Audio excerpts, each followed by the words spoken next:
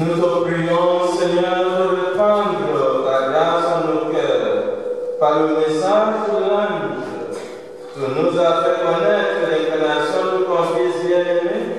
Conduis-nous par sa passion et par sa croix jusqu'à la gloire de la résurrection.